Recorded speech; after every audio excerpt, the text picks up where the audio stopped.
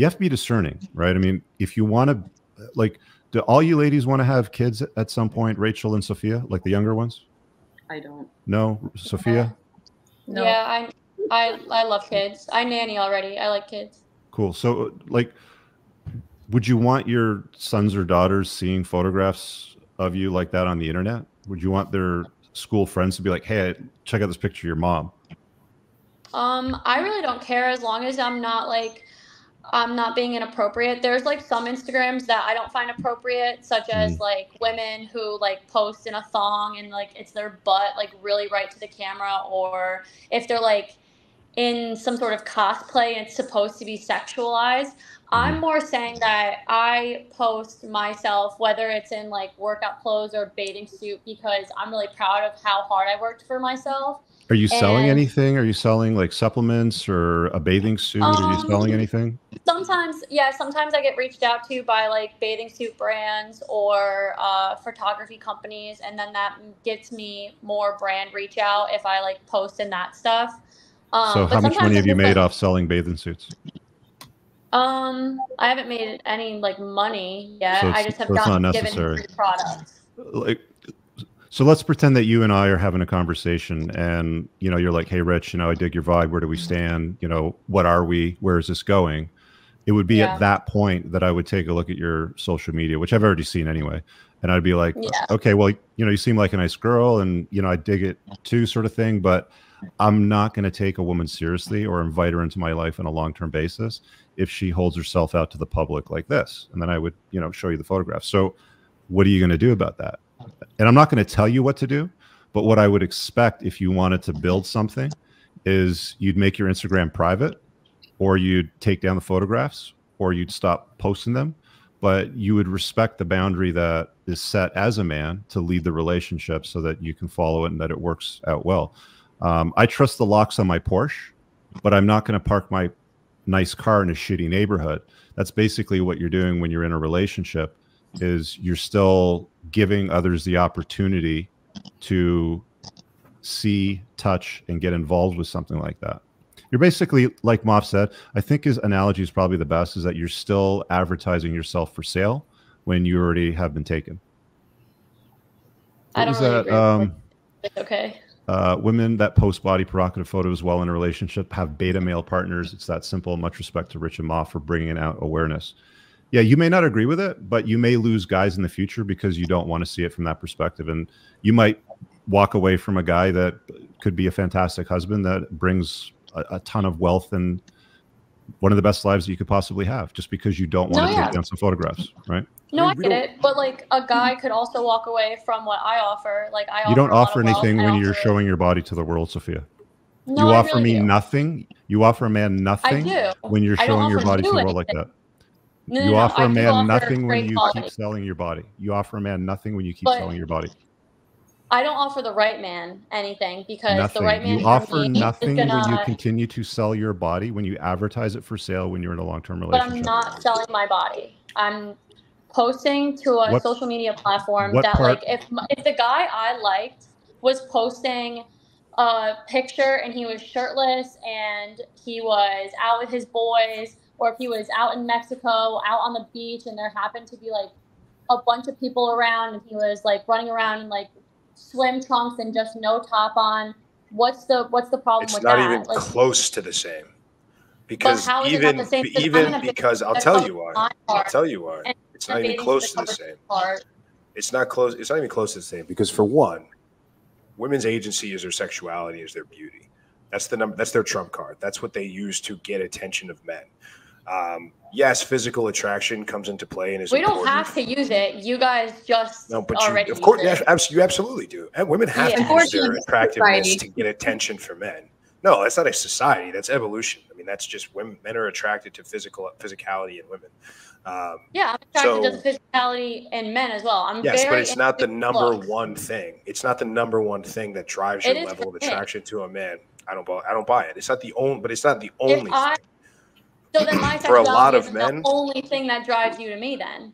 For you most men, understand that women are sex objects and men are success objects. But let me let me try to drill down my point. Let me let me try to finish this. For two, even if that's the case, the amount of likes, comments, hard eyes, DMs, hey baby, you're so gorgeous that you get is astronomical compared to even the most jacked, ripped, tan, in shape man.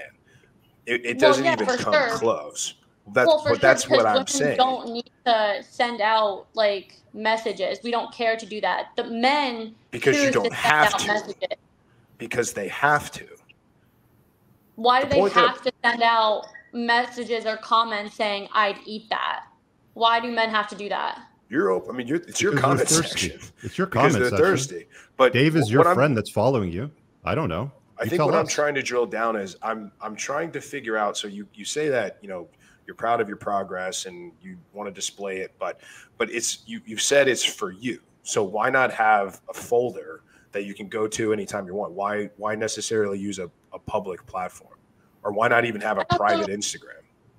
Well, I also just enjoy the public platform. It's great to grow and it leads to new opportunities. I'm sure you guys understand trying to. So you're advertising. So you're advertising I'm, and marketing is what you're doing. But if I'm advertising and marketing for products like you guys, you advertise and market market. But you're not. You haven't made a dime selling a bathing suit. Not yet. Did you make a dime your first like couple months in? Did I you grow? Always, Did you work yeah, I was always running Instagram as a business. You're not using so, it as a business. You've got a job.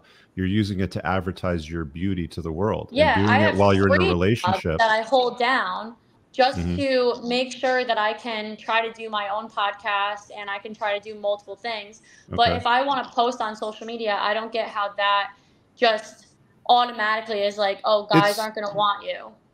You can do whatever you want. I mean, you're a grown ass yeah. adult, but you have to understand that a guy does not want a woman if they're together, showing herself off like that to the rest of the world. It's only supposed to be about, for him. Okay, I'll give you a different scenario. So instead of Instagram, say I'm out and about. I have been taken photos of. Uh, they've caught. They've taken pictures of me on their camera or mm. videos and everything when I'm like. Um, I've literally just been walking outside, and mm. you know, like if I'm in a sports bra and shorts or whatever it is. Now, I'm getting that attention regardless, and that's in the public eye, but I'm just fucking walking. Okay. You're not taking that photograph and showcasing it to the world on your social media. That's totally but different. I'm still seeing the world. Like I'm still going around and traveling and everybody's looking at me. I don't and... think you understand how men view Instagram. Like I don't think actually I don't think I would I think you understand. I just don't think that you way. care.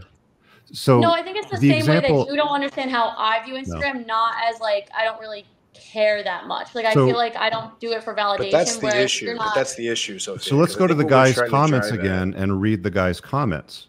I'd eat that with an apricot. Uh, let's go to another okay. photograph in the comments with peach, peach apricot, whatever. Flames, yeah. hearts, uh, peace sign, hot, smoke show from Alex, sweet baby Jesus, purr, Hardy Eyes. Hardy Eyes, these are Fry. I mean, half of them are girls and the other half are like guys. Mm-hmm. John signed that on my yearbook. They're they're throwing this attention at you because they're looking for you. They're looking for you to respond, right? Not only is it yeah, in the comments, like it's also yeah, it's also going to be in the DMs. Like these guys are basically trying to buy you. It's like again, Moff said, uh, you've been but claimed. They're always going to be doing that. They're going to do it if you post photographs like that. If you don't no, post photographs like, like, that, they're not going to do it. It happens in real life as well, like the cat sure. calls. Guys, like yeah, guys will approach you in real life, which is fine. Let that. Yes, but there's a difference between going, walking, and living your life than in passively having that attention and actively posting to put something in people's universe because the majority think- of those people that follow you on Instagram are not seeing you walk down the street. They're on their phones. They're not, you know, the the number of people that you'll run into or the number of times you'll get catcalled is astronomically fewer than the times that guys are going to see those pictures on Instagram.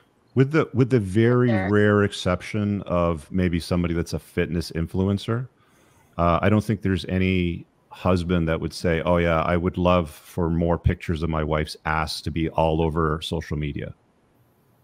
But I'm not married and I'm not in a relationship, so. I know, but we're talking about when you're in a relationship. That's fair. Because that's because that's what came up was when you were dating. Then he had issues with what you were wearing and where you're going and stuff like that, right? And then Sophia brought up the notion of social media and her trip to Mexico. Bikini pics on Instagram with a boyfriend is the same as walking through the gym with your TNA hanging out, waving and whistling at guys while your man's working out. What the hell's and TNA? one more. Oh, tits and ass. Yeah. For the children. For the kids in the uh, show right now. Uh, I had uh, friends in high school during the 90s that had single moms that had promiscuous clothes when he'd, he'd visit. Uh, it made my buddies uncomfortable at school with rumors. American Pie was the film that made it worse, right? Was it Stifler's mom or something like that? Don't ever disrespect American Pie like that on my podcast, boy. How dare you? My goodness. Um, yeah, it's it's, movie, it's just not a wise choice, right? I mean, like if you want to be a wife and a mother at some point, uh, and you're in a relationship with a guy, then holding yourself out publicly as being available by posting provocative photographs um, and soliciting the attention and, and, validation of others is it's it's just unwise. You can do it, and lots of women do it, but it's dumb.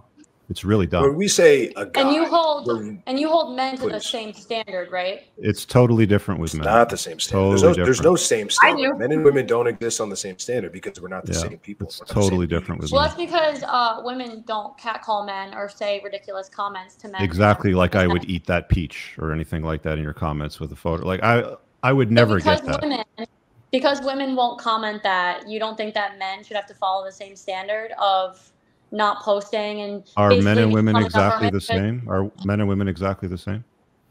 No, I'm saying that we're not the same on multiple levels, but with social media platform, I would assume that you would want it to be held to the same level because I think that you preach that there's women that are definitely like, like replaceable and not good for you. So I mean, if there's mm-hmm. women out there willing to you know, go to a man's page and be like, "Hey, man, I really want some of that eggplant emoji."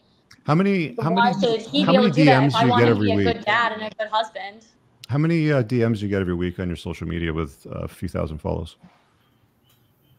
Uh, like probably like maybe twenty. Twenty. I probably get like. There.